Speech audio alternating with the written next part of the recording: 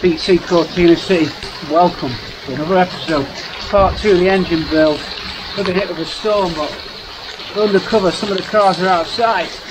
Criminal! What can you do? Heavens have opened. These are real thunderstorms. This is a real summer storm. It's a long time since I've uh, seen storms like this, but we'll just keep on motoring. You're going to say, roll the credits.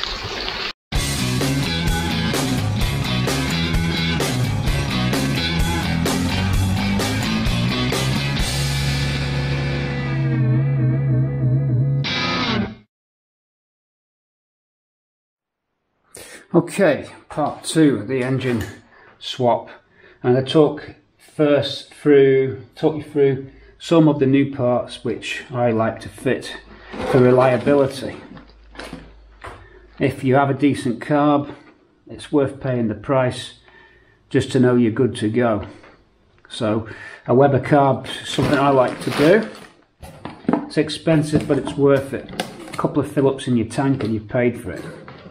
So we know about that, talked about that in part one of this of the film. This part two part series fitting this engine. The other part I like to do is the cam belt tensioner wheel.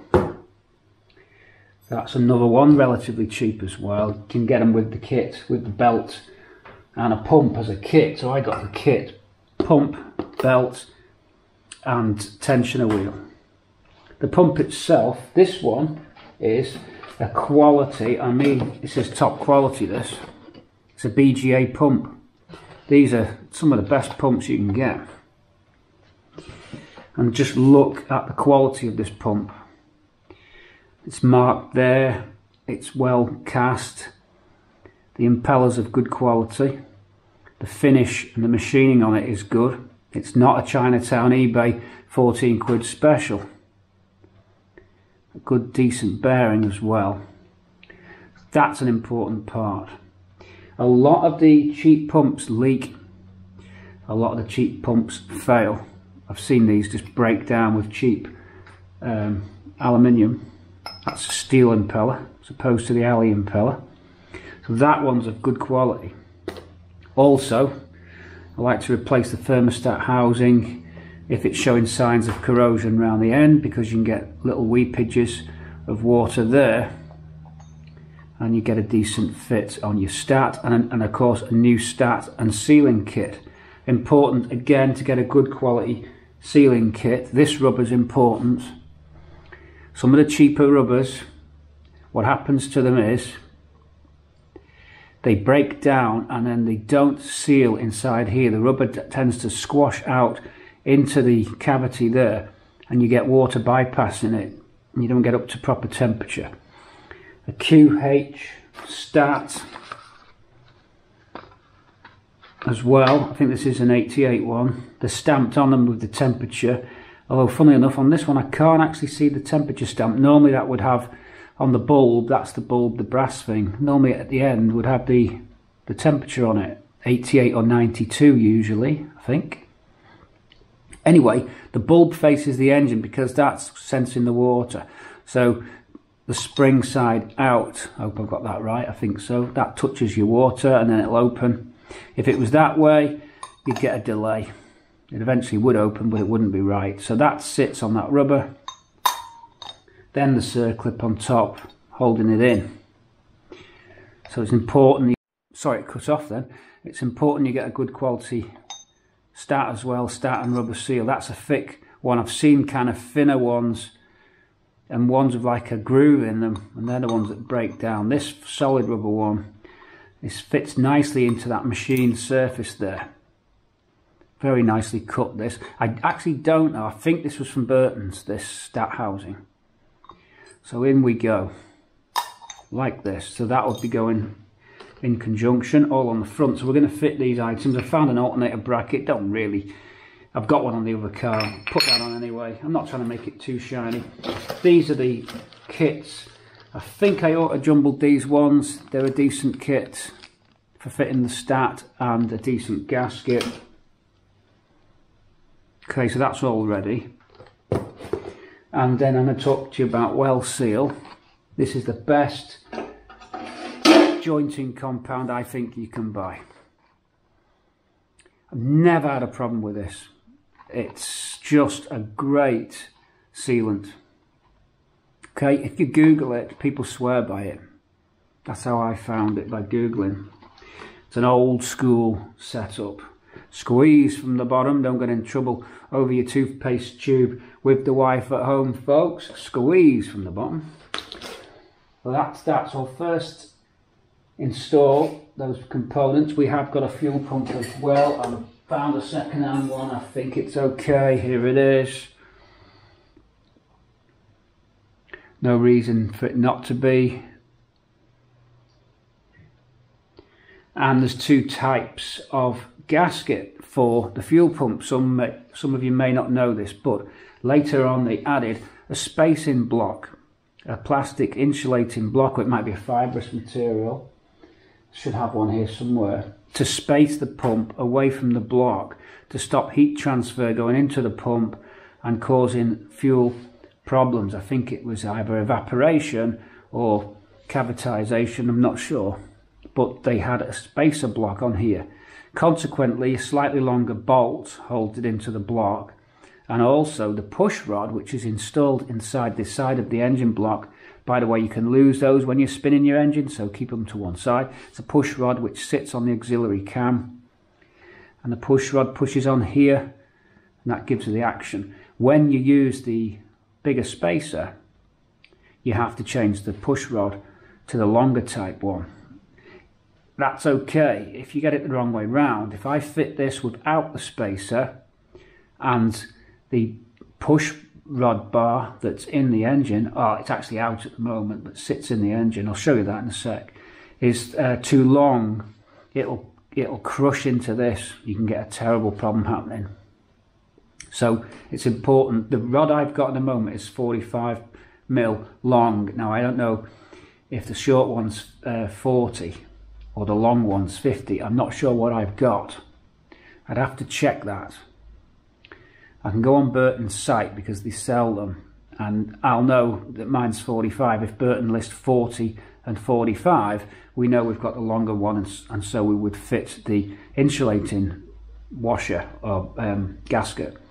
If we've got the short one, we're going to have to go without and it's straight to the block, okay? So that's it. We're going to get on, we'll move you in position, we'll fit the water pump, put the stag seal on the gasket, bolt it up, and then the thermostat housing, get them jobs out of the way. We need to start taking the engine out of KP soon, so bonnet off, and then all the auxil auxiliary pipes and tubes and connectors off, battery disconnected, and get ready to get that engine hoisted out because I need parts from that engine to complete this. This hasn't got a bottom flywheel. It's missing a few other parts. Ten, uh, the tensioner wheel bolt, lockdown bolt, the star-shaped bolt, they're hard to find and it's not got that so I can't tension the cam belt up. It's going to have to be done. When the engine's lifted out so I can raid all the bits I can't take them off now because I've got to drive the car into position so it's a bit of a catch-22. I'll first get this out of the way and fit that okay? Stag seal would go on like this. Well let's get that lock locked in first. We'll put that in first because this is ready to rock. You do need pliers normally might snap him just by hand. I think we've got it. There we go. So that's ready. So now what you would do is you would just do this with a stag. So thin it'll trickle out of the tube without pressing the tube it's just applied like this. There's no point putting it on really thick because when you compress this up it'll just squeeze it out anyway. So you just I just do it like that. These are such good machined faces that probably would work without a gasket but of course we're not going to do that. That is it then this face, of course,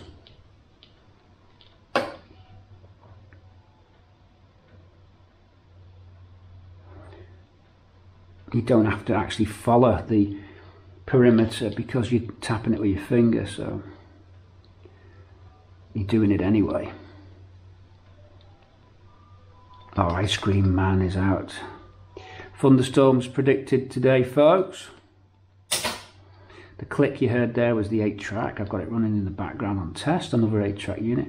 That's ready to offer up to the block. Let's take you across there now. Okay, you'll see that the block face has been cleaned.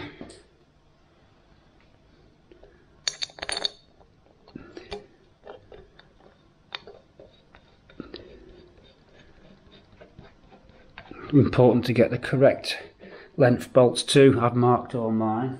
And guess what? Oh no, I thought I was lost one then. It's here. I was going to say I've lost the other bolt, but we're good to go.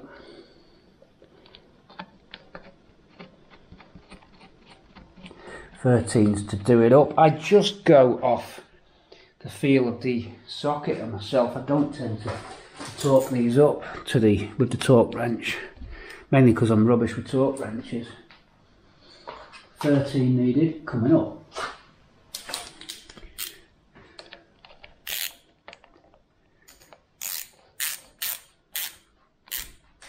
And that's that.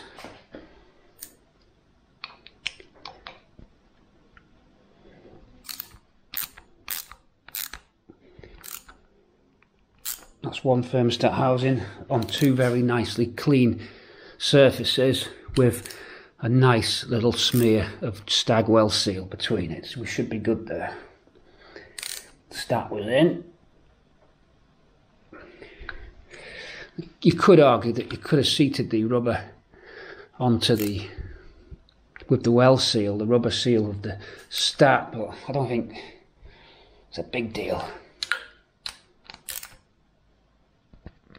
There we go.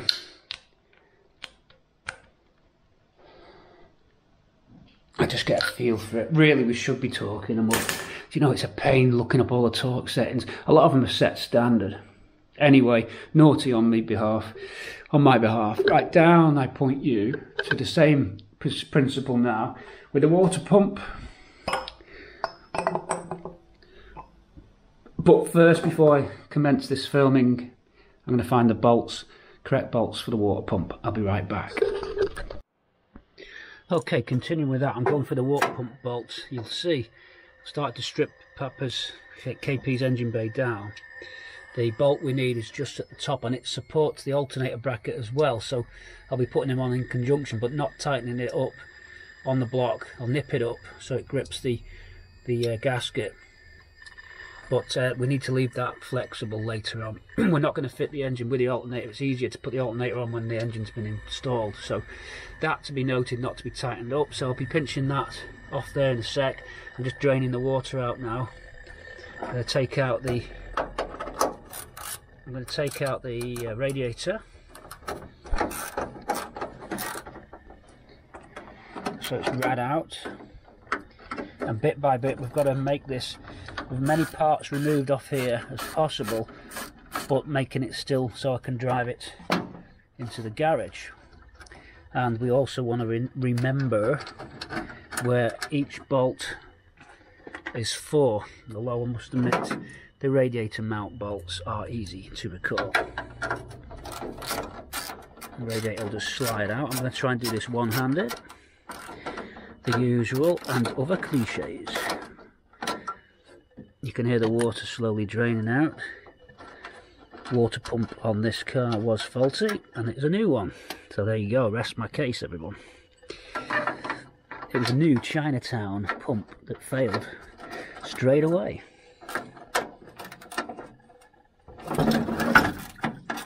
Our rod descends. The joys of one hand will be okay. Radiator may try and slip away now.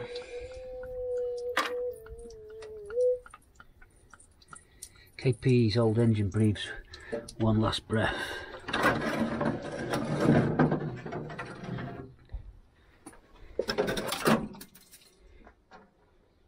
Radiator's okay. alternator there with the bolts put back through so we don't forget. Can take the fan off. We can install that. I think that's one which we will put on the engine. Although I must admit, you can install that with the grill off. So we may as well take the grill off. For five minute job for the grill, it's easier to put the engine in without the fan getting in the way and catching the blade. So we won't put that on either. I'll just undo that. What else? This hose can come off. Heater hose. And I'll be able to get to that a little bit easier. I want that bolt at the moment. Anything else that we need? The alternator bracket bolts. We'll need them. That can be bolted on actually. Now. And if there's anything else that's gonna oh I'll take the I'll take this off just so it's out of the way. I won't disconnect any vac hoses or the car won't start. Earth lead has to stay on, so really, we can only really get that. Could get the bottom crank pulley if you wanted as well. Probably, uh, I could get that actually, then that'll help me set the timing up. Might pinch that as well. Take this water pulley off and the bottom crank pulley. Might need the puller, so it's good to get the grill off so we can get the puller on. Let's get the grill off, fan off, bottom pulley because again it doesn't need that to start here we go slowly stripping this down for the transfer across but keeping it running. Both those cars out. KP driving right into the middle of the garage. Hopefully that's what we're going to be doing. Underneath for the uh, block and tackle. Undo all the housing bolts the bell housing bolts start the motor off. Battery off. Battery off first, then start them over. Stop any sparking cables. Then uh, hoist away. Wish me luck. We're continuing on.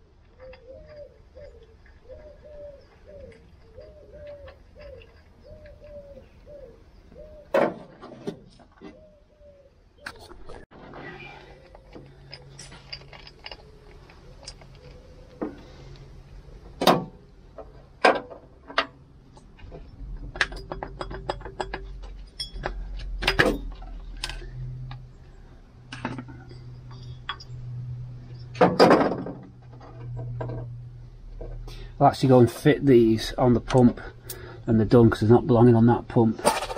So yeah we've got an alternate we've got a cam case retaining bolt on the bottom. It's that one I want and that one there. I'm just going to see what size it is. It looks like 17 so that's the one we want. So we need a 17 socket now for this. Water pump will fall off of course but I say 10 seconds driving it into the garage will be fine. Even so the engines are right off so need stripping. So it won't matter. Is ready to fit. So it's seal time. Really nice machine face that. The difference between a rubbish pump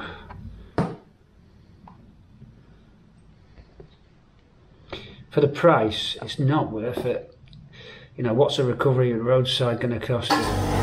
Whoops.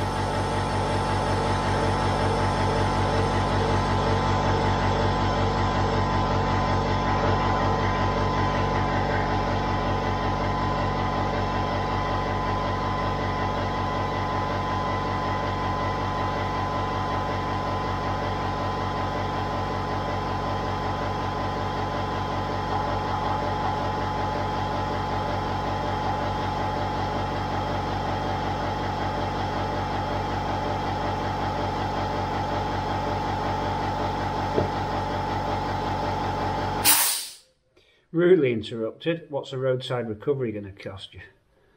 You know? Right, let's offer that up. Don't know why I put it there. okay. Be right back. Here's another time saving tip for you when taking off your, your bottom pulley. If you're still in the car, get a 19 on it and put it in gear you might be lucky. I tried that, it just moves the car.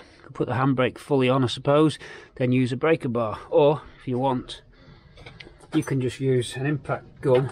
You'll need a little flexi adapter, but this this always works. Straight away. Crank this bolt out with no fuss. Saves messing around. So that's what we used. Our Clarke impact gun again, saving the day. This has turned out to be a great little tool, by the way.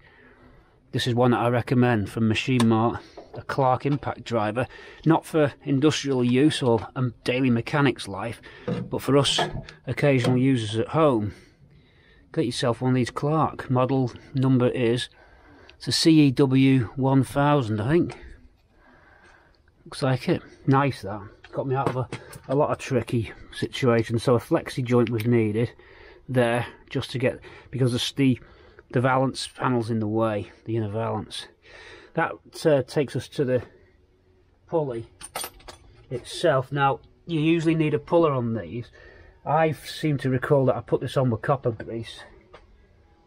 So if I get my breaker bar, we're going to see if it comes off. Now I think the breaker bar is resting on the camera, so you may move. Yes, you did. You moved a little bit. I don't know if this will come off. I copper greased it. Yes, it worked. Look at that. I'll save another time saver. Because we put the grease on, I have to do it opposite sides. Big, long breaker bar here, look. So, I'll be careful. There's a there's a can go against the water pump, that's alright to do that. Opposite sides when you do this. This breaker bar's got a little kick heel in it, which helps with this.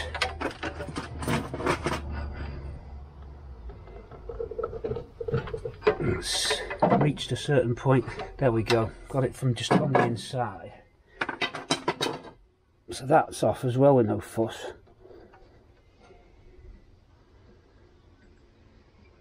We can go and put that on and then we, now we can time the engine up. This will still run without that wheel, do not need this. So we can still drive into the garage everybody, don't worry about that. I wouldn't want anyone keeping awake at night saying, did you get it in the garage? I know things like this can keep you awake. So for the, the super fans, we're going to get that bottom hose off as well now that we've got access with the grill off. Makes life easy for this. Ha oh I was going to say that it's not a, a slot a slot head but it is. Get that hose out of the way. The water pump will probably fall off. I don't think there's anything holding it on is there?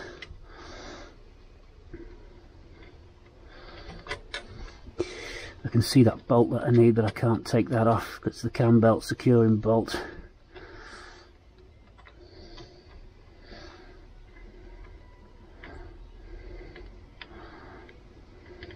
cheap quality hose clip on this not a Jubilee. I like stainless ones.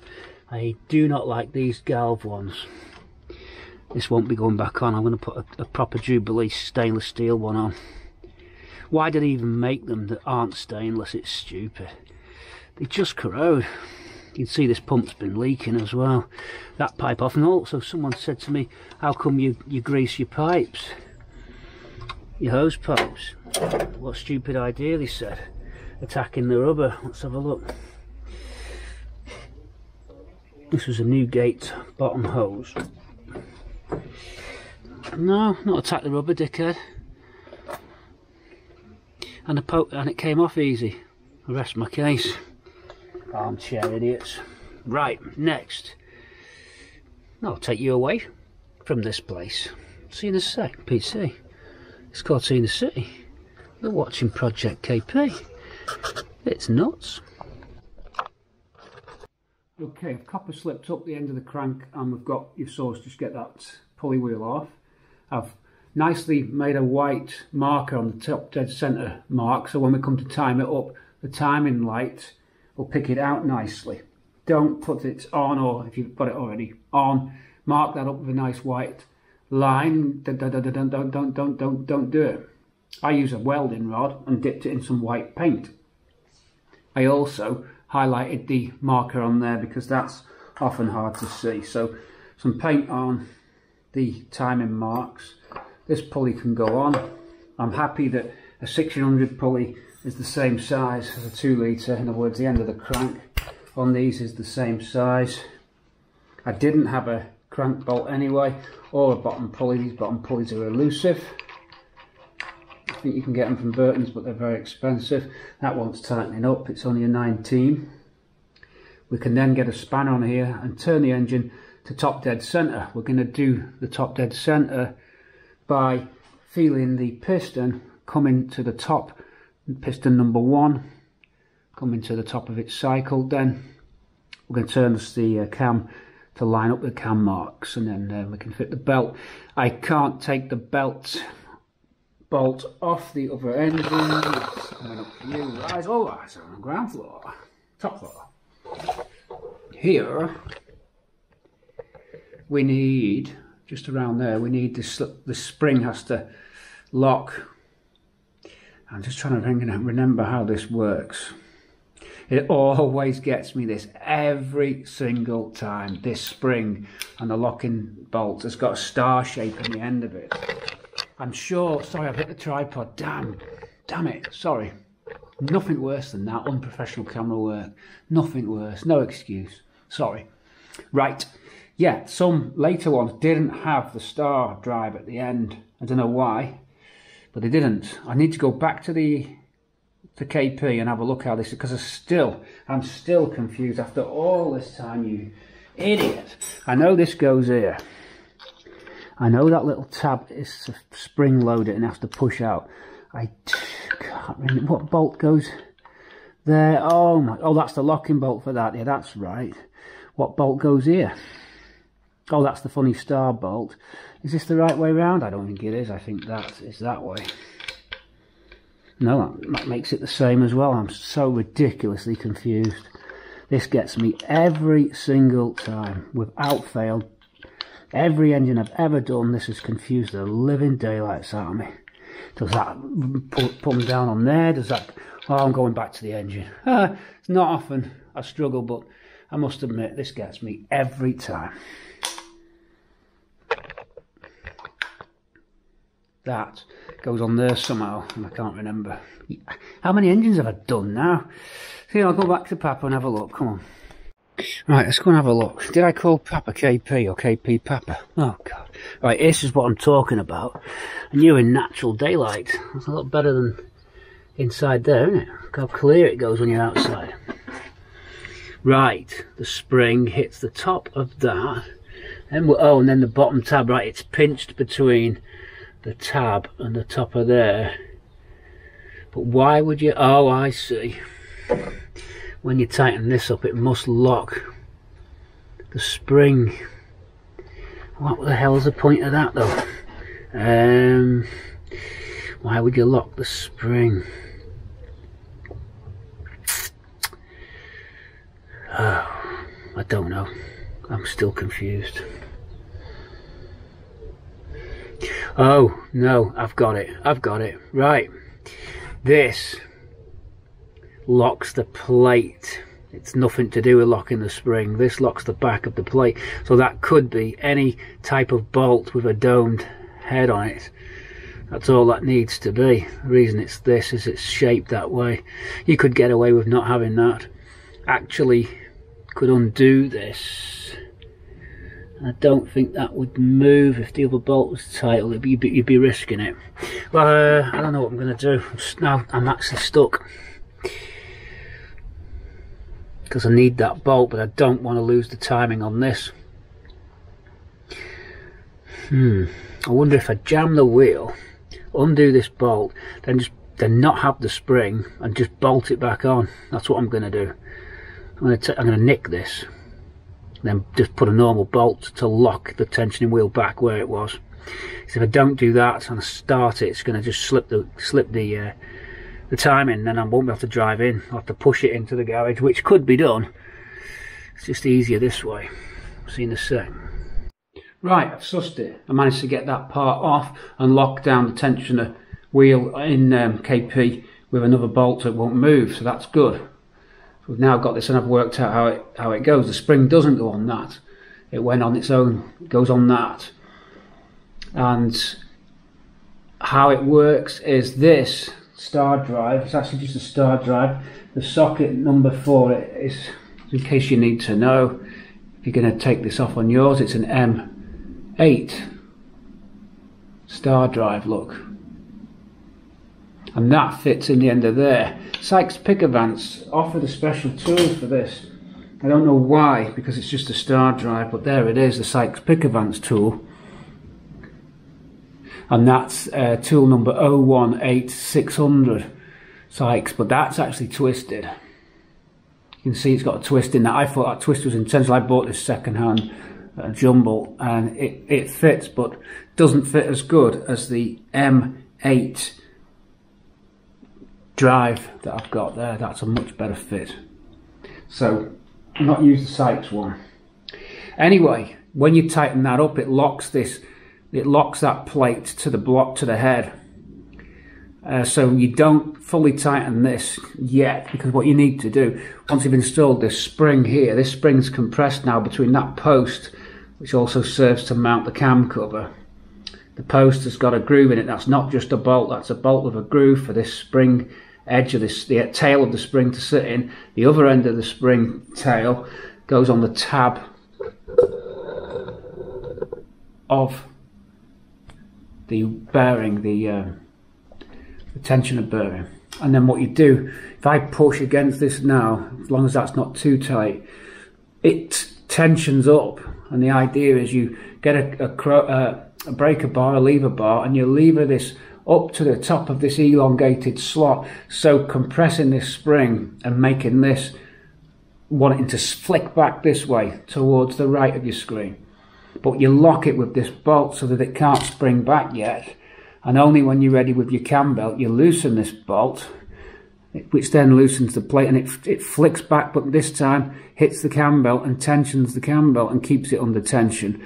You then do a few rotations of your cam belt and once you're happy with the timing and the cam belt feels right, half turn, you then lock everything together. And it, it actually, I don't think it's designed to be constantly pushing against the belt. I think that you lock it together and then that's it, it's set. So it's a way of tensioning the belt. I, I, suppose you could get away without a spring and tension the belt with this plate yourself and then try and lock it, but this just makes life easier. It's probably for fitters in garages to get a more consistent belt tension. So that's how that works. Torch around this side might help a bit. There you go. A go. So I had to I had to remember rem, getting words out. I had to remember that. So I'm going to get the breaker bar and tension this up and lock it in. Then we can then install the um, the cam belt itself because everything else is in place and time everything up. Okay. Right, you'll see how this works now. And by the way, look at the shape of this bar. It's perfect for this job. It goes in like that, then up onto the wheel. The wheel also turns, it's not rubbing. And then that's now, see how that's pushing back on my bar? So I can get a bolt in at the top, if this is the right bolt, I think it is. It's too long that bolt. Right, we need the right bolt, that's way too long for this application I think. Hmm. I don't know how far you'd be winding that in. I'd say that's probably too long. I'm going a slightly shorter one. But you would lock that all the way up and hold it in place and then it would do that that's slightly locked because there's a little bit of tension on this here but that's how it works with the breaker bar. The right shaped bar for me is perfect. That one. Great to get those. Kenner Falter for that one? Thank you. And um, and Matt helped me with that breaker bar. So, I'm going to go and find the right little securing nut. This is not it, and it didn't come with one. Okay, we'll be right back. Okay, I've got the correct bolt now, and I've pushed all the way up to lock the tensioning wheel back on that spring pressure. So if I nip this bolt up, it holds that there. It won't move. If I was to release that bolt now, this would ping out under the tension of that spring. That's how that works. I'll refresh my memory. I'm happy about that because I uh, get a little bit, well, I don't hardly ever get stressed or annoyed actually. I think that's completely wrong for me to say because I don't. I'm very patient and um, patience pays off a lot of the time. Got to be patient if you want to build. If you wanted to build Bramble, what an epic! Swampy times two. Bramble was a lot more of a challenge than Swampy. Swampy was easy compared to Bramble. That Bramble took some patience and some skill, I'm telling you. Okay, that's on.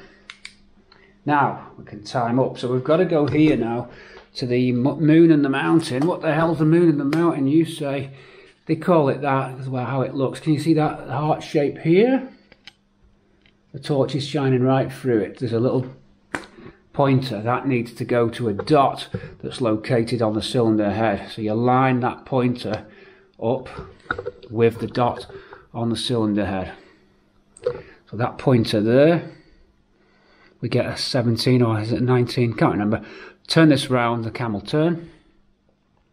Then you'll see a dot on the cylinder head, which I can't see just yet. You get, oh, you have to see it through the window of one of those. And the uh, would have been easier with the thermostat housing off. You can still do it, but this would have been easier. So, and then we turn to the engine. We'll be turning the engine until the piston, number one piston, is at the top of its stroke, and that is lined up. See, the thing is, the cam turns half the speed that the engine does. The reason for that is it's a smaller sprocket at the bottom of the engine coming down. Coming down. At the bottom of here, see you saw the sprocket earlier. The tube sprocket behind there is half the diameter of the top one. Oh, it could be less, but it's certainly smaller diameter than the top sprocket. So the engine can turn a lot more than the top. So engine turns twice the speed as the cam does, and that's how it gets confusing because you can line this up and it can be out of phase with the valve timing. So you've got to get it right. So yeah, that's how it is. Once that piston's at the top, that could be an exhaust stroke or it could be a compression stroke. You see, so you've got to you've got to get it right. Took me a while to get my head around the principle of this. I eventually got it. I'm going to now get the spanner and rotate everything. I'm going to line this up, this wheel with a 19. It should turn over. By the way, we're about to find out if the engine turns over. It could be seized. There's one thing we didn't even consider, despite the fact that it's had oil down the bores. It's, it's lived with oil down the bores and then recently, the last few days, I've put Bulldog down there. Let's see if it turns. Right, I'm about to see if the engine turns over. It will be locked in the cradle. This will take a little bit of nip up at first.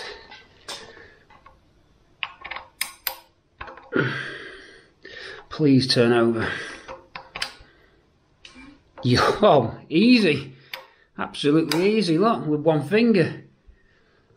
This ain't seized. Look at this. That's a relief. There you go. Where's my little, where's a little finger? With the little finger. That's free as anything. It feels too free to be. That seems too easy. I know there's no sparky plugs in there. That's uh, very free. I don't even need a breaker, but it's a 19 spanner for that one. Well, that's good. So let's get on to top dead centre then. Look. Only at that point, but a bit harder there. But there's nothing I can do. We're, we're committed now anyway. So the timing marks are here. there, that's TDC and that piston's at the top. I checked that by just feeling in. And that's the exact point. You can put you can put a gauge in. Uh, you can use your um, dial gauge if you really want to get it right because this isn't always correct. So I'll show you what I mean. This is stuff I've slowly learned. I'll get the dial gauge. I don't know if you can still, if this, I'll be able to set this up for you. Let's just say we're looking through the viewfinder. I'll come, bring, bring around the side. Try and move that camera nice and slow for you. I'm on a tripod, you see, so it creaks and does bits and bobs. So I've got this. I don't know if it's long enough to go into the plug. You'd have to put something on the end, but you can do this. You can put this is magnetically mounted. You find a place that this will fit and this gauge measures very small movement. You see it? So even though you've got top dead center and even though you're feeling with a screwdriver, it doesn't mean to say that it's exactly at the crown, the top point. This would give you an indication because you'd see the needle bring it onto the face of the clock you'd see that deflect and then peak out and then start to make a return. And at that point, you'd slightly rock the crank just a little bit until that needle was bouncing on its peak, then its return. And that would be true top dead center as opposed to using the timing marks. Um, I don't know how critical that is. I don't think people, I think only if you were tuning an engine would it become that critical. Okay, so that would be the idea with the dial gauge to find true top dead center. But it's difficult. I've got a little piece of plastic tube and it doesn't really want to withdraw. But see, that's the idea. The piston would push up and you'd get this sort of swap rocking point. I'm going around on the 19 and holding a tripod and trying to keep the picture composed, all for 4.99 a month on YouTube. Luckily, the patrons have saved me. Just so, wasn't happy with the uh, the little dot on the cylinder head, so I've cleaned it. It was too mucky here. I couldn't quite clearly see that dot, not as good as I wanted. So I put some white paint within the dot. It stamped into the head. I've took the the backing plate off and I put a white mark on the arrow. You can see that now. There. These line themselves up. Now I've greased, copper greased the pulley and then this tab there's a tab in this plate there should be if it's broken off you're in trouble there's a tab there that locks into the top sprocket there's a, also a keystone a uh, keyway thing the Woodruff key there's copper slip on so these this fits together that plate locks into the back of this at some point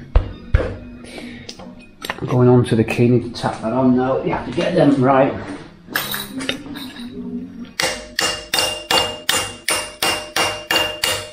Don't like the feel of that. Something's not right there. Woodruff key's fallen out. Whoops. Woodruff's fallen out. How the hell did that happen? Right. Put it back in. That's the key. Mustn't have been in quite straight. Where do we go? There, that looks straight. Hang on, slightly raised. That's it now. Put that back on. I just wasn't happy the way you, you could or couldn't see it. Like that should tap on quite easily. There you go. And that plate should lock into it. Now you're in. And I took the thermostat off, I couldn't see. The stag steel doesn't actually set, it just goes sticky. You, I used the impact uh, gun to whiz this off without turning on the cam. So the impact gun came on and just blew that 17 bolt out. If you try and use a spanner and you've no cam belt, you tend to just be rotating the cam. You can jam something in there We've got thunderstorms. So now, without the thermostat on, make sure you always turn clockwise, go round, cam lubes on so we're not scratching the lobes and then we can come round and get that to line up with that better without the thermostat housing in the way. I'm going to bring it level with this now. Big thunderstorm coming in. Unusual weather. Well, it's not unusual, it's just I like a good thunderstorm, I must admit. Can I rotate this? Yes, I can rotate this. You'll hear some thunder shortly. Right, now I can get it exact. That's what I wanted. Can't do it with the thermostat housing on, that's what we've learnt. It's not right, you're guessing. So, I'm going to bring you exactly in front of it. Hold on.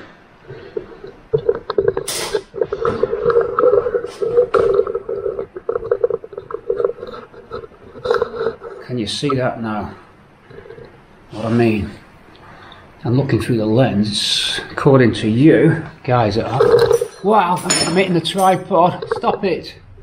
It's actually good using the camera for this. It's actually easier using the camera than uh, naked eye. Let's say that's it.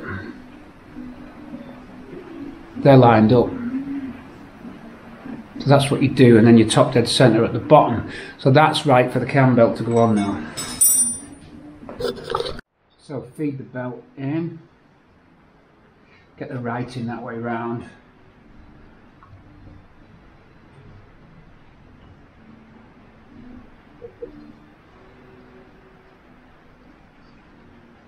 This is a bit I get confused with definitely every, every single time.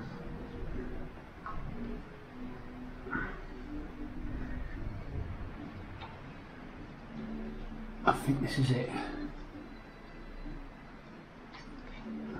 I think that is it.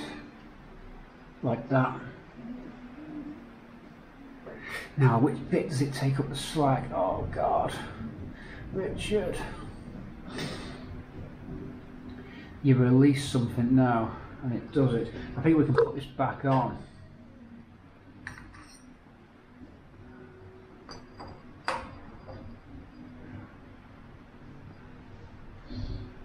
Think that can go back on.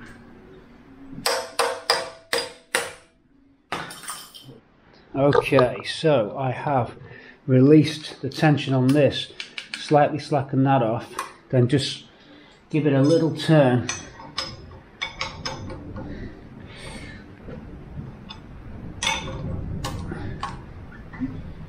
And then I think you, after the turn, think you lock it back down once you've gone round. I think you go around a couple of times.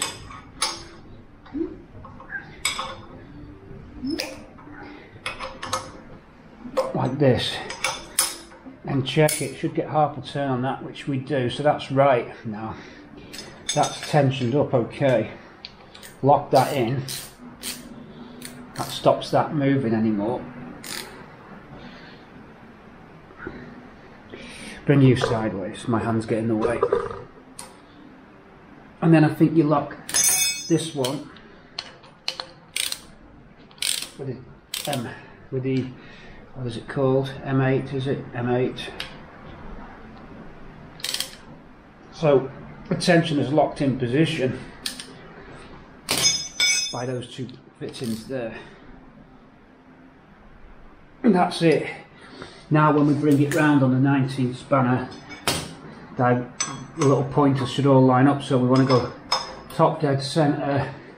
When the pointers come round, not because this top dead centre here now is halfway that's at the top. See that's top dead centre. But that pointer's up at the top. So it's 180 so this does half for each full turn of this. Round we go so there and that's now pointing to the dot so that's how you do it that's bang on so they're both bang on So I think that's it. Going to bring it off now and bring it close up to this. Right, so handheld with the camera and you can see that. Down. And you can see that.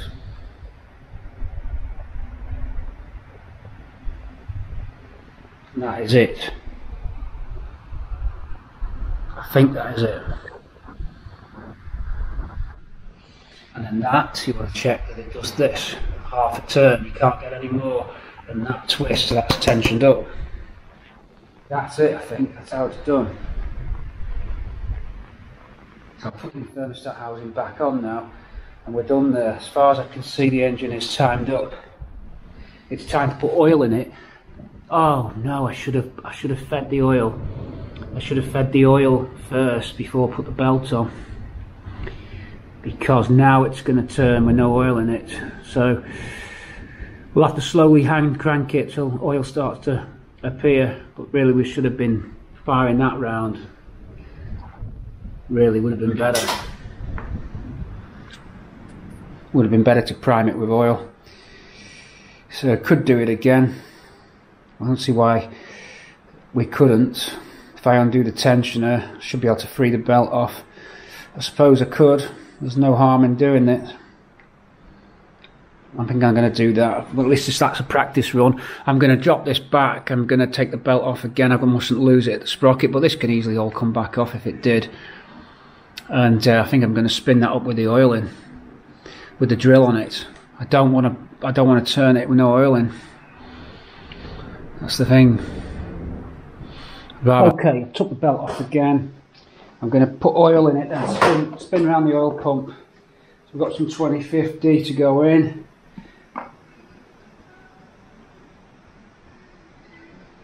And then get the oil feeding through and coming out the spray bar. Once we're happy it's all coming out the spray bar, I'll then put the cam belt back. So the amber nectar goes in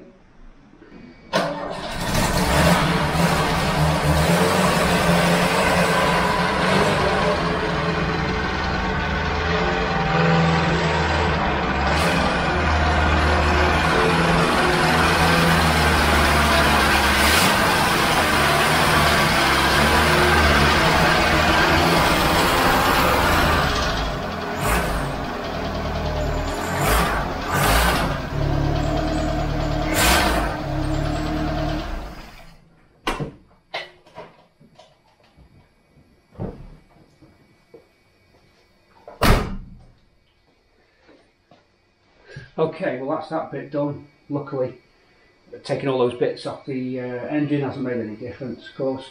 We're parked, trying to get it right in the middle of the hook, centre of gravity. Oh, centralised, not centre of gravity. So yeah, that's that gun. We'll get the lights on. I'm going to chock the back wheels, chock here, just in case when I'm pushing back, it doesn't roll back into Ruby. Although I think I'm going to now actually move Ruby out of the way, out of the theatre of conflict, just in case this thing rolls back. Okay, so we'll get we've actually got proper wheel wedges next door. That's that might save us, but we've got a couple of proper chocks. Block and tackle then. Hook that up, position ourselves, get this out, then nick the rest of the bits we need off this. Swap them across, we've got to bring the other engine in as well on the stand. I've left the channel down here to get it in. You have to use some boards, creeper boards, creep it in. Whiz this one out onto a little dolly. I've got a dolly ready as well, so 1600 onto the yellow dolly, out and then on the uh, engine crane into the area here, push back, lift off the crane, get it in the air.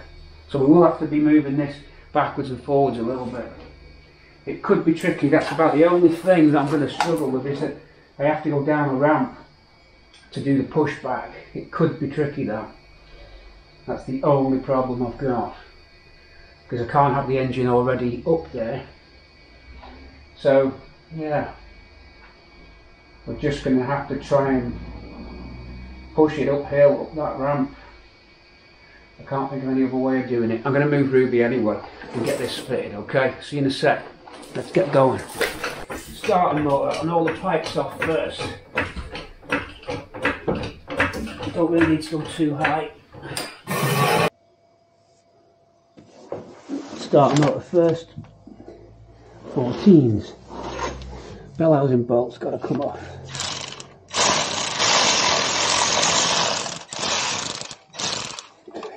I've loosened them because this tool I've got doesn't always have the power to get them all the way out. The bottom one, there's no, none in there, there's one in there.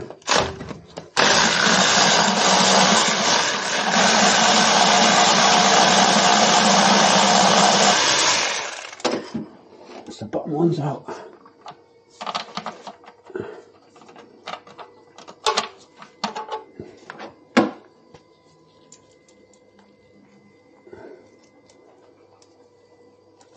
Stick that on the end. Anything else in the bottom? No, I can go back up to the top now. All we needed here. Oh, the exhaust. I'll probably get that at the top. Right, up to the top we go. And we're set.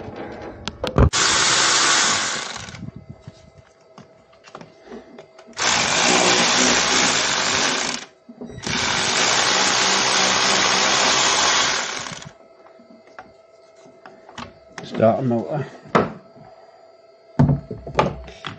Them separate.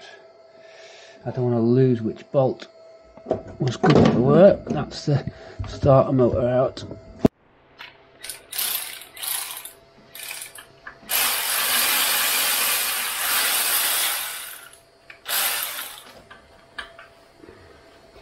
That's the last of the bell housing bolts out. The clutch cable is off, the exhaust is off, oil sump is drained, accelerator cable's off, choke cable off, water hose is off, that's it, it can lift. I'm going to connect the rope and lift it out. Okay, we're lifting, going good.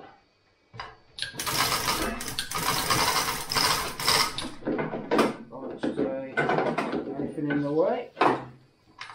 Move that uh, the tools down. We've got to get, we've got to get the dolly underneath this as well. We're clear of the uh, bell housing, engine mounts are off. I'm just checking if there's any other cables in the way. They just the coil's a bit close. To be fair, it'd been better with the coil out of the way, but in terms of the, the angle, we're good.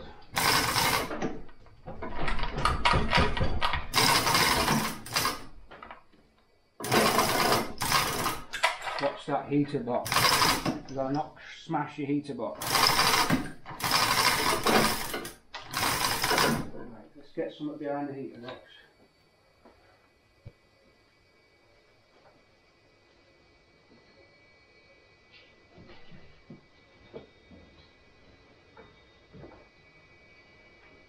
Clutch is just, I really should push back the car like that and head this way. Bring you up now as you follow the action.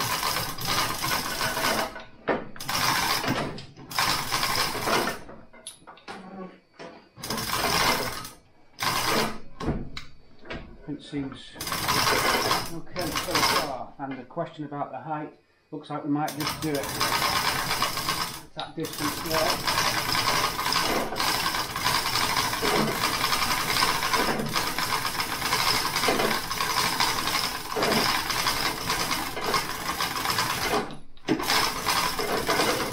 Yeah, I think we're clear. Might just.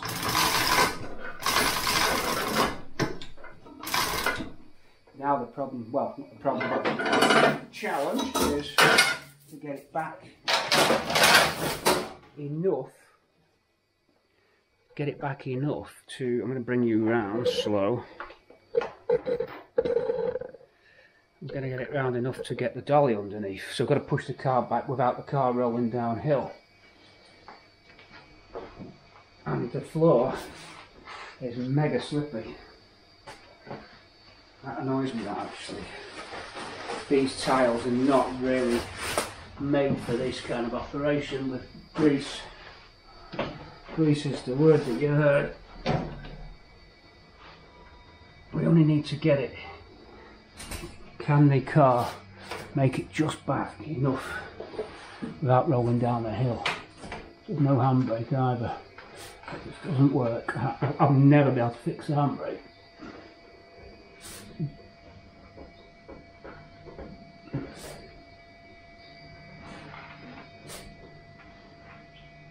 Might just do it for tilt forward. Dolly. Okay, down you go. We're heading this way now. I think there's just enough on it.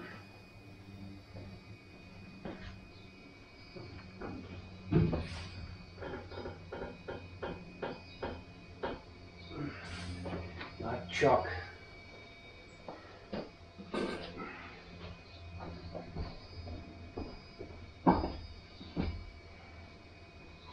Looks like make it. I'll just slightly push forward or sideways even. I hold on,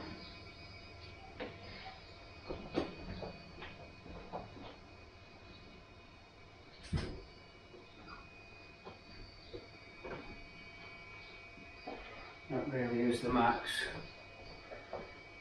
That is the max. Right, come on down. Leslie Travis style.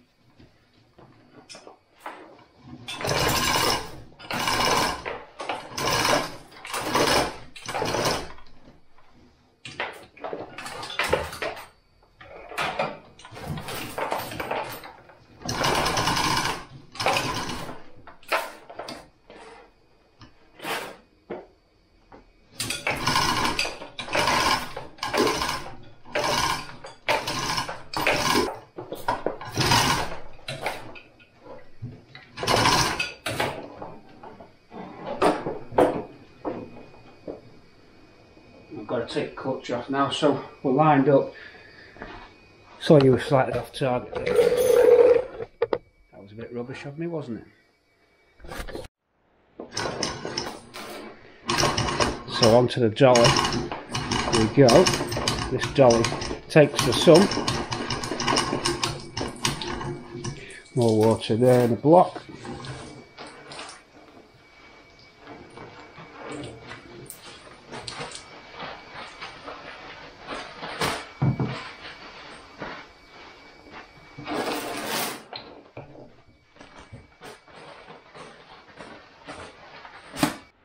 Okay, the engine's on the dolly. I'm feeling a bit better after some food.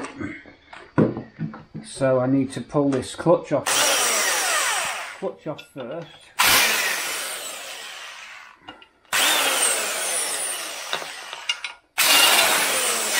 Whoop, whoops. And then the flywheel's got to come off.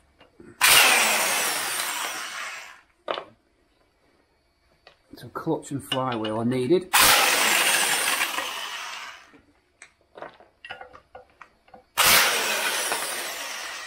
Other impact guns are available. Should have took the top one, left the top one till last.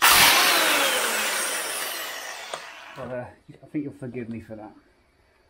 This is a new clutch. That was a new clutch when it went on. Slightly contaminated. rusty actually. Very strange. There's our flywheel with the ARP bolts.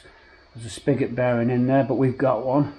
So we need the flywheel as well. That's the 5 8 socket on that. I'm going to bring you in a little bit closer in a minute. You're in the dark there. Might increase the brightness on the uh, the editing suite. So I'm going to pull the flywheel and swap that. We're going to have to bring the other engine in as well now, folks. You're in the dark, aren't you? My overhead light's not as good as the in the garage. I'll use the torch just because there's nothing worse for you at home. Watch out, will you? There you go. There you go. So, yeah, the ARPs, they're, they're 5.8, so let's just blast them.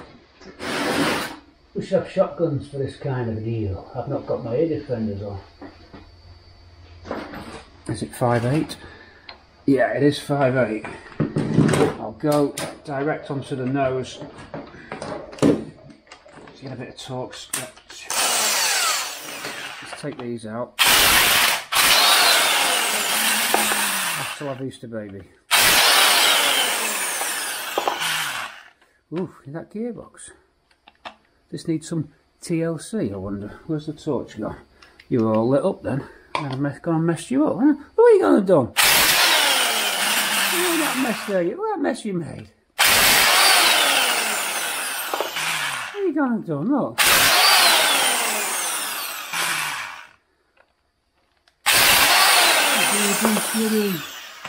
Freddy, Freddy Mays. The butcher of Mayfair, Freddy Mays. Freddy, Freddy Mays, the butcher of Mayfair.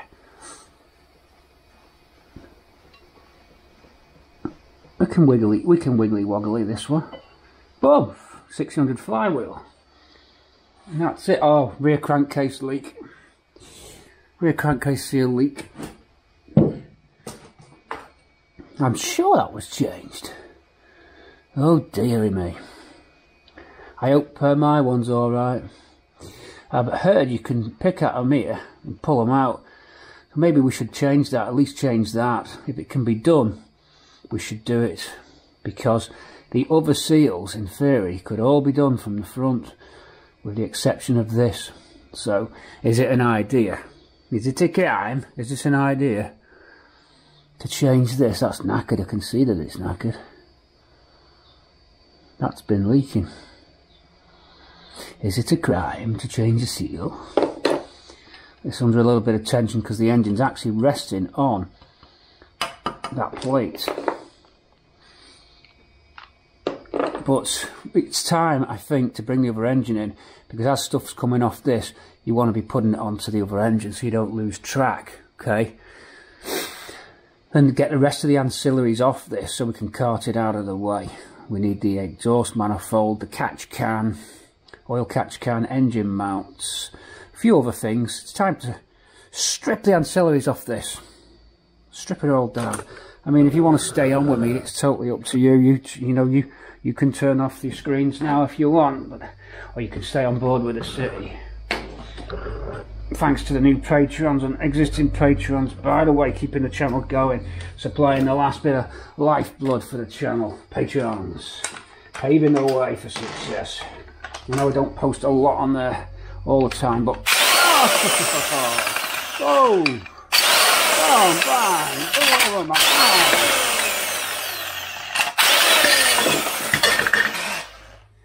Splash it all off.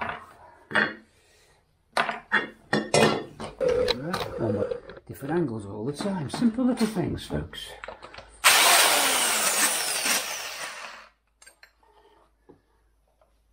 If you want to lift the engine, you won't be doing now.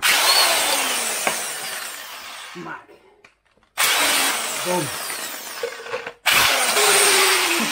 Boom.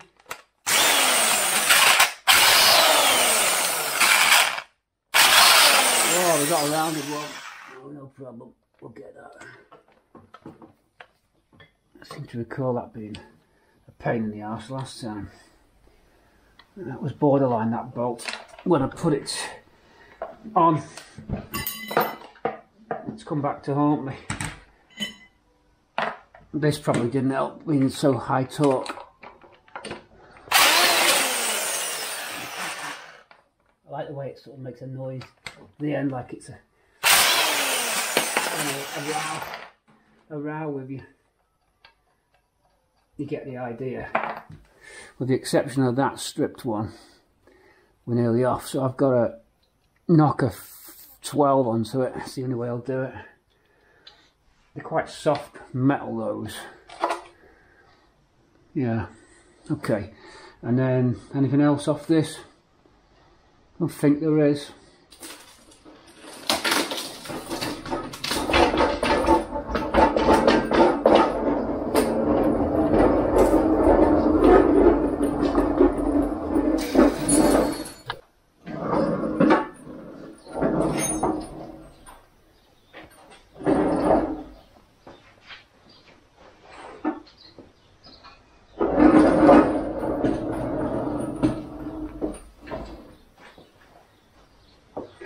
Okay, so what we start doing now is slowly transferring all the components across. It's just a case of winding all the studs into these cylinder block fixing points, engine mounts, stuff like that. Start putting it all together. Distributor, uh, we'll put the distributor on when the engine's in and the fuel pump. Just makes it easier wobbling it into the bay. I think that's it. We can't do the clutch yet because it's on the stand. To get it off the stand for that and to get it off the stand you need lifting hooks. So it's the inlet manifolds first. I won't do the casing cover just yet. So I'm going to get all these studs wound in now.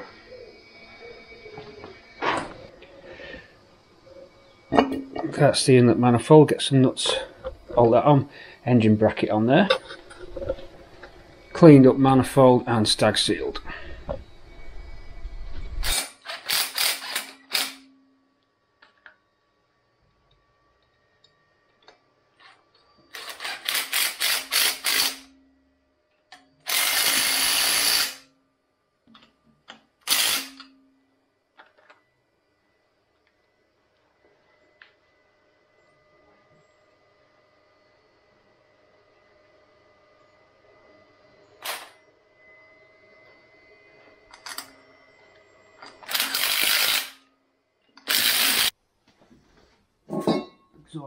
Next.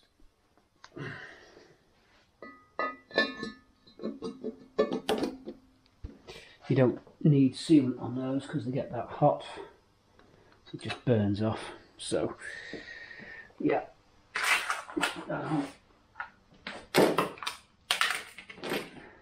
Then we can we can lift this then.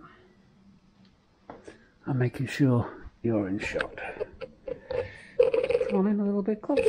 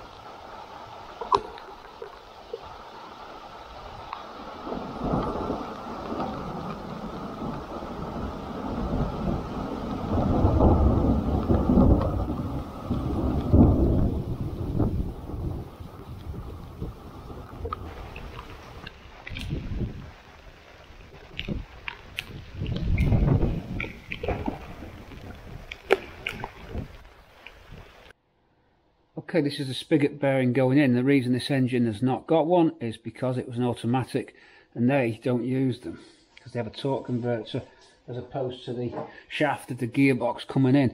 So it goes that way round. I've just copied the uh, setting off the other one.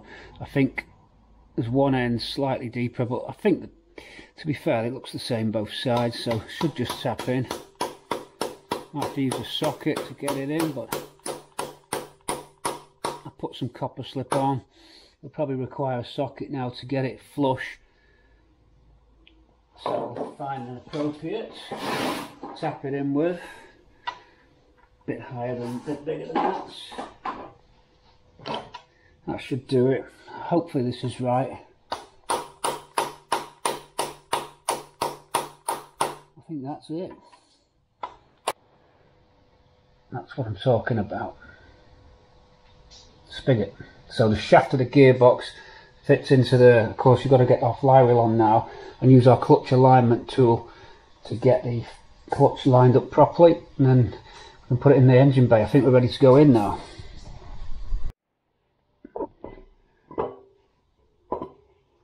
I put some copper slip on that to make life easier, lining it up. It means you can just spin it to get the bolts lined up.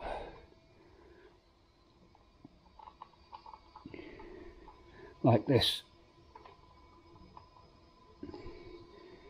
A lot easier if you do that. These need torquing up, so we've got the torque wrench ready. We'll spin them in first and then torque them up. I'll get the Haynes manual to find out the settings, I can't remember.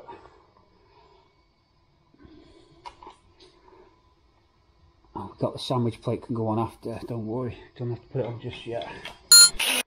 Apologies that uh, there's been a little bit of water on the lens from the storm there. I've cleaned the lens now, anyone who was getting annoyed, sorry. Right, Haynes book, I've cleaned my hands the best I can for the Haynes. Should just be torque settings quick reference somewhere. I'm missing an accelerator cable bracket don't know I'm going to get around that. I can get it going on the choke, but do we have torque settings?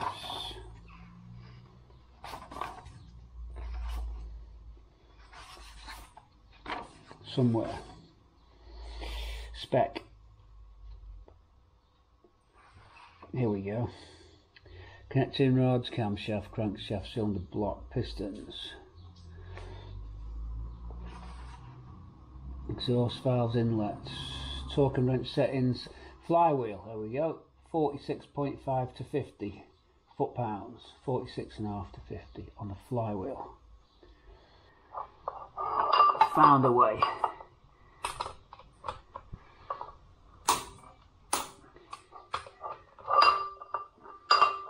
a breaker bar sorry cut off then as you tighten up your bolts you make sure that you keep that plate central. So line the bolts up first. I'm going to get the, the battery gun to just send these in quick.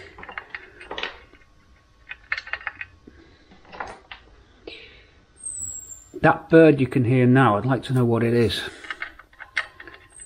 Can you hear that? It's just a it's just a straight call.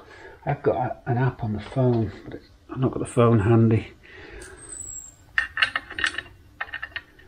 Right, where's my, I'm looking, scanning the floor for my 13 and battery ratchet.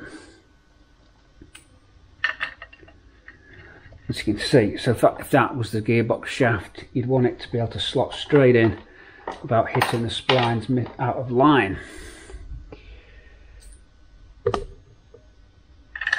And I think we can put the engine back in. I've changed the thrust bearing as well for a deeper one uh, when you put a Pinto into that type of gearbox, the bench seat type gearbox, it's expecting a Kent, and the clutch was right at the end of its adjustment. I actually had to make a and a some bolts to space it out. You might have seen that when you saw me fit the engine, but this time I've found a deeper reach thrust bearing. I'm hoping that's going to make it so we don't need them nuts and bolts holding the clutch cable in. I think these are... Right, while holding that centralised, opposite sides.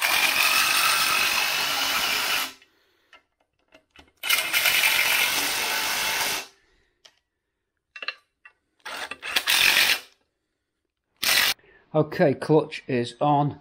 I used a 19 on the front crank pulley bolt so that I could tighten up the fly the, uh, clutch cover bolts as well.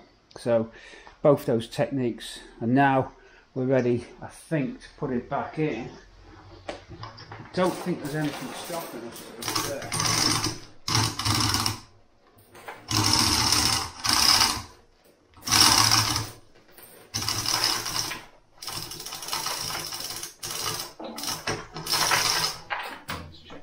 secure. Keep away from It's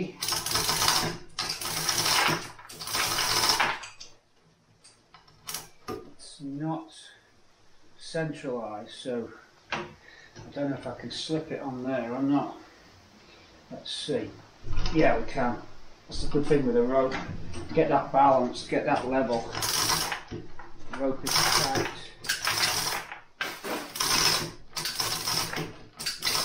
Lets go, we've, had, we've lost the floor. Bringing you up. You're about over there.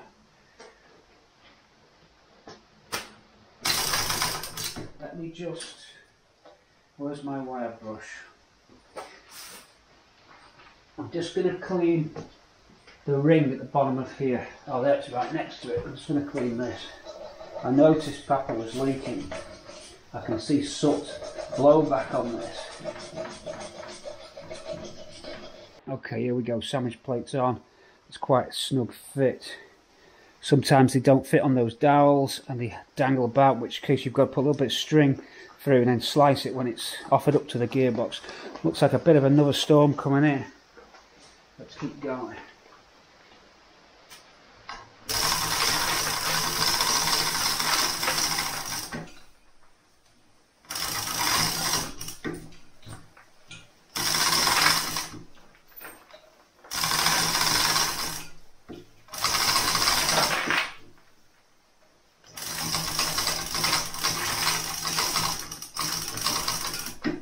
do this up because it will annoy people like me watch strap.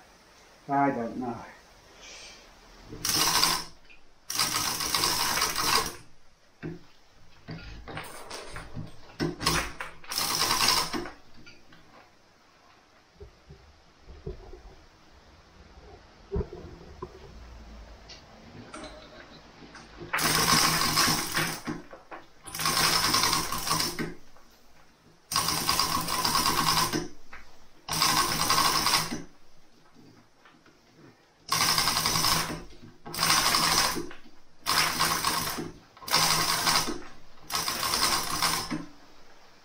about clears it.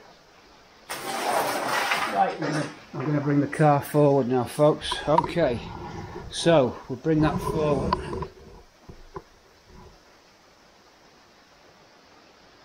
Move this engine out of the way, grab this wheel, should be able to move that.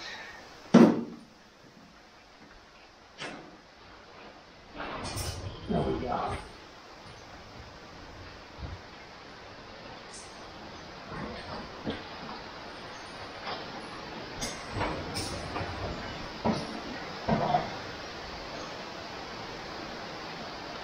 bit of, in a bit of a safer zone now, folks. Start going down now.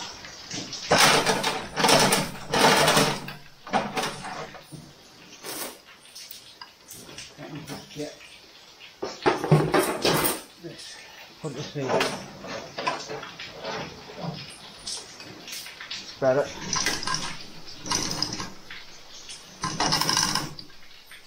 Cables.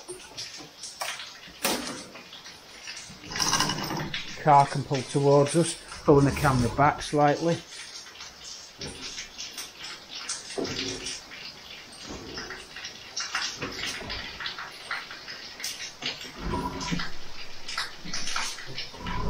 Right, gotta watch it, I'm on the heater box.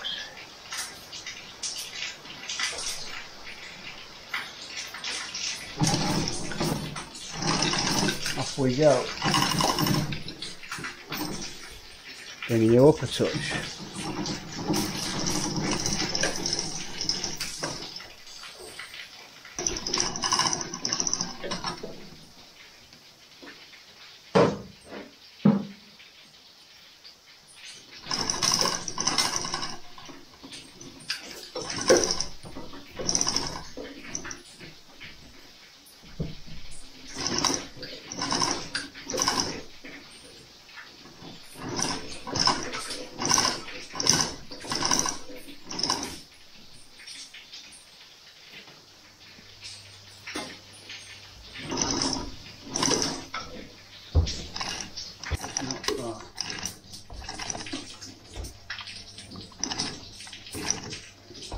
come, car needs to come forward.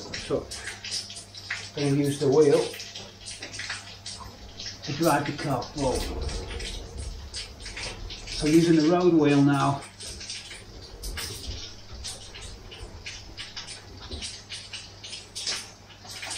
heading that way. Lower down touch more.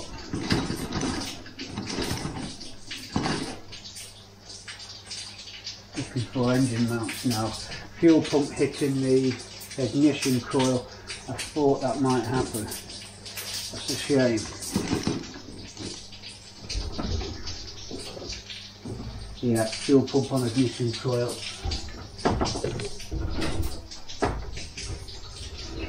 Gearbox slightly moving as well.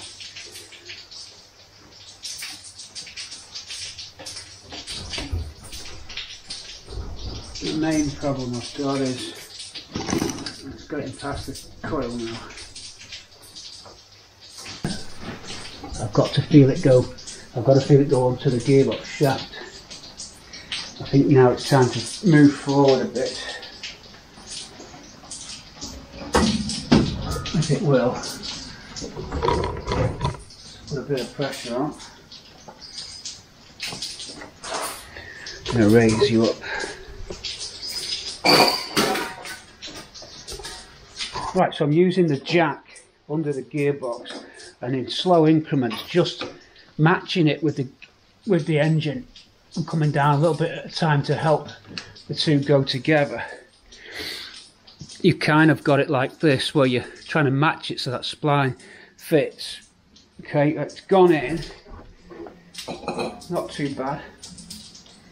I think we're in now. I'm going to lift up, lift you actually up on the tripod, holding the whole tripod, trying not to get the legs of the tripod catching anything as I walk about.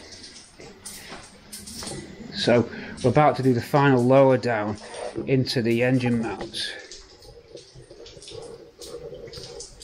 You can see we're nearly in and it's closing up on the bell housing side so it must have gone on the splines. It would never get that close. So it's a question that side's gone in actually. I think that's in. Yep that's gone in on its own so that's good. So this really I don't know if I can do it with the camera but I reckon it'll slot in this.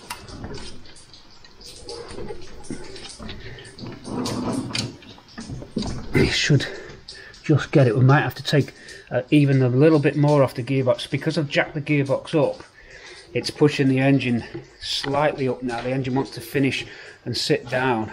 So let me go back to the jack. Slowly you go up again. Bring you close in.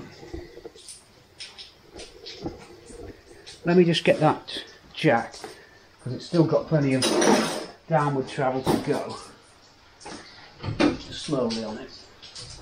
And it should lower the engine a little bit more. Yep, there you go. Right, that's the gearbox is now free from the jack.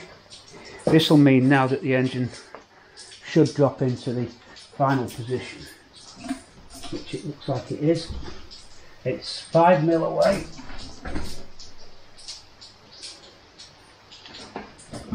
I think that's it. I think if I do this now,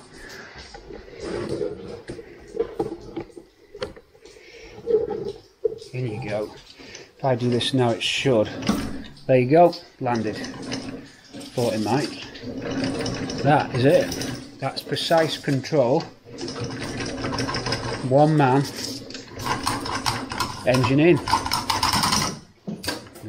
Okay, I'm putting a lot of uh, ancillary items on. Now we can go down, lower down off jacks, it's all bolted up, start motor. Batteries back on, come in and have a look what's been going on.